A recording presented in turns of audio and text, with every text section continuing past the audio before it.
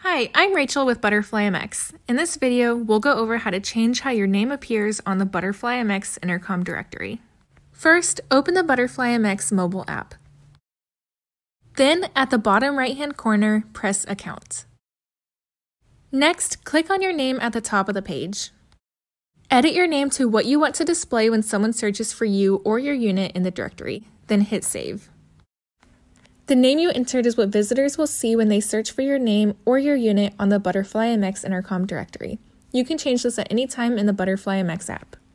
Thanks for watching. If you found this video helpful, please be sure to give us a like and subscribe.